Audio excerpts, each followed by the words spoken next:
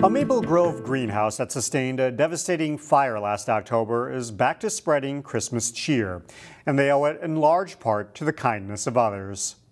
The holidays are wonderful when it's very, the aesthetics are on point for it, so. There are few things more synonymous with Christmas decor than poinsettias. The poinsettias give you that pop of color. You got the bright reds, you've got the variegated ones, white ones. There's so many options. Yet the fact that all of these poinsettias are available on the retail floor here at Lynde's Greenhouse and Nursery in Maple Grove is somewhat of a Christmas miracle. They survived a lot lately, so. In October, an arsonist set fire to their production greenhouses, which threatened a crop of roughly 18,000 poinsettias in need of heat and water.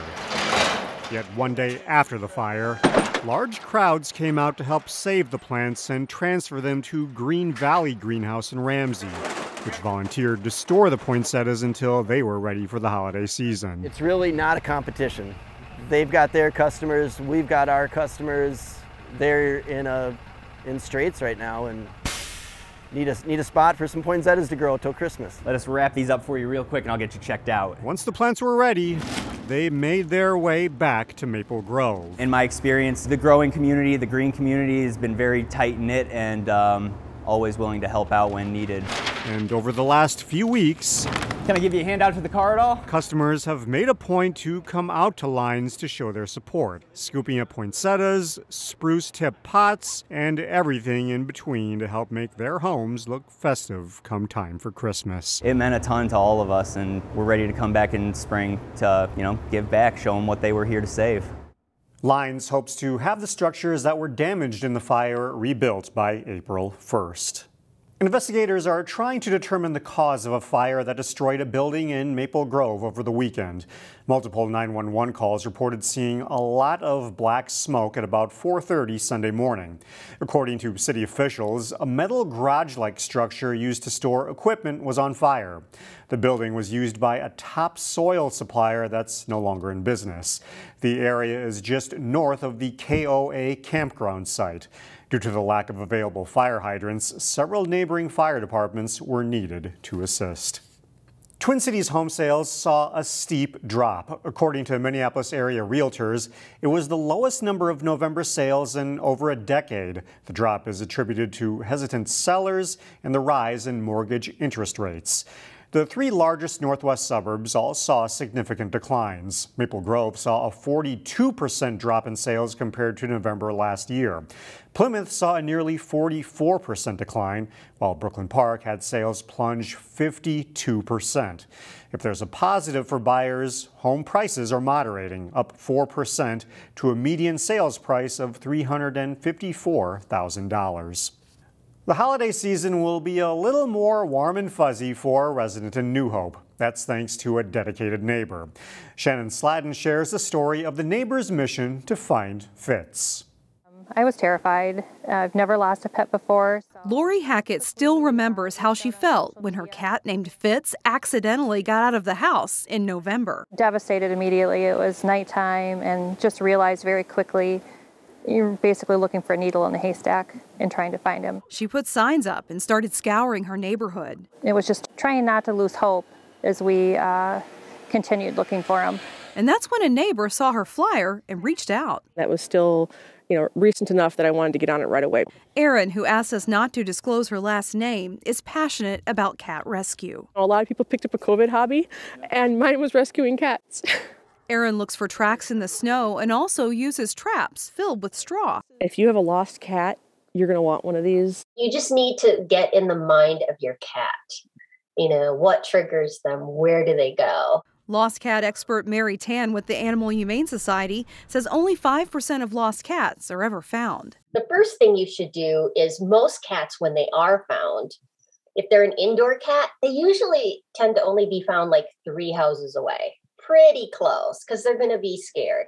Tan says you should get the word out about your missing cat. It's going to be calling your local police departments. It's going to be flyering everything. And your number one resource is probably going to be Nextdoor. Next door probably has one of the highest unification rates for animals. Knock on every door in a one to two block radius. Show them a picture of your cat, give them your phone number, and say, if you see this cat, call me. And that's what worked in this case. Another neighbor tipped Lori off that Fitz was under a shed, so Erin went out with her trap and caught him. When we caught Fitz, we were just telling them we needed this win so bad. It's so a little bit of dedication and you can you can save somebody's family pet. It was such a blessing. Her expertise and just giving me that hope to hang in there knowing that, you know, there's still a really good chance that we could find him. It was everything to me. It's what kept me going to be honest. We helped save a cat. We helped make the, the family happy for the holidays. You know, this is uh, it's very rewarding. The number one piece of advice from the Humane Society in finding a lost pet don't give up. Persistence is key. In Brooklyn Park over the weekend, the most important cultural celebration for local Hmong Americans.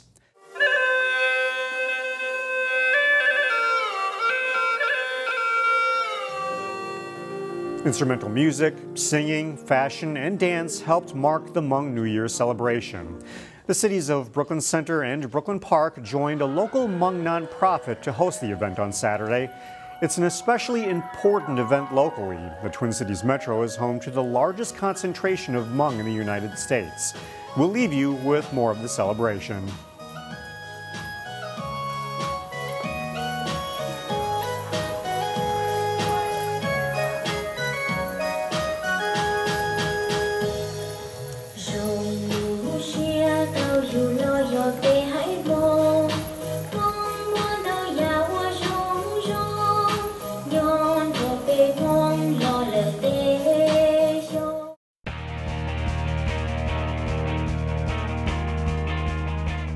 The Cooper boys basketball team opened the season with two good wins. Friday, they faced what should be a good rival in their new conference, the Tri Metro, as they took on De La Salle.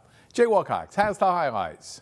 Longtime boys basketball power De La Salle visiting Cooper in their first conference meeting as Tri Metro members. The visiting Islanders grab an early lead. Devin Irvin nails a three to make it 7 to 2 De La Salle. Cooper surges. Darius Mulba into Michael Cooper for the layup, and the Hawks go up 8 to 7.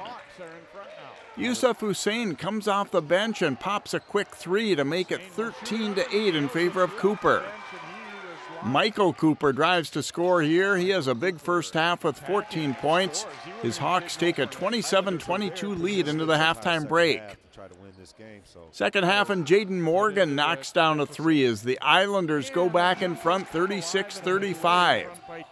After foul trouble in the first half, Sam Massaquoi heats up for Cooper, scoring 14 after the break. They're up by four.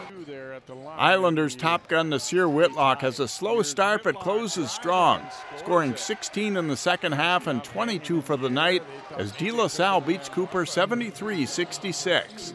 Jay Wilcox, CCX Sports. Thanks, Jay. Cooper also played Saturday morning in the all-day big stage event at Osseo High School. The Hawks won that one, beating Champlin Park 63-58. In other games there, Hopkins defeated Maple Grove 66-60, while Osseo lost to Eastview 73-56. Also, Armstrong lost 64-57 to Cretin-Derham Hall. Benilde St. Margaret's beat Andover 82-78. And in the final game of the night, top-ranked Park Center beat number two Lakeville North 78-71. The Heritage Christian Academy girls basketball team is riding a four-game win streak after victories on Friday and Saturday. Here's Jason Malillo of highlights from the Eagles' Friday game.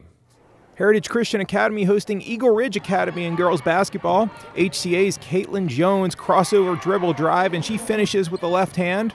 Then Jones slips her defender, penetrates, and passes to Abby Inman for an easy two. Heritage up 29 3. Inman scores 14. Just before the break, Heritage freshman Miley Guggenberger hits for three and a 38 point halftime lead. Second half, Jones gets the steal and goes all the way for a hoop. She nets a dozen and Heritage wins big. The Eagles also beat Wabasha Kellogg on Saturday. Jason Malillo, CCX Sports. Two District 279 rivals went toe to toe on the wrestling mat, and it all went down to the final match.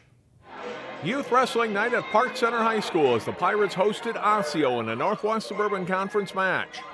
At 145 pounds, Osseo's Carter Williams spins and gets Kenny Shodia on his back, and he turns that into a pin. Williams' second period fall pulls the Orioles within three team points. 160 pounds, a nice move by the Pirates' Jackson Sanders. He gets the takedown on Nick Vang and then a quick pin. The Pirates lead 30 to 21. At 170, a good match for Osseo's Matthew Grassi. A second period takedown here on Jacob Hansen on the way to a 10 to 1 major decision for Grassi. The Orioles take the lead at 28 27. 195 pounds. Park Center's Mo Bamba has Dylan Gutierrez on his back for a long time. Eventually secures the pin. Bamba's fall puts the Pirates ahead 39 28. Next match is 220, and the Orioles' Vile Kamara is matched up with Adam Verkylen, and Kamara gets a first period fall. That pulls Osseo within 39 34. So they need a pin at heavyweight to win the match, but instead it's the Pirates heavyweight, William Russell, who gets Alfreda Fowler's shoulders to the mat for the fall. That's the way it ends as Park Center beats Osseo 45 to 34. In Brooklyn Park, John Jacobson, CCX Sports. Find more prep sports games and highlights at ccxmedia.org and follow us on social media.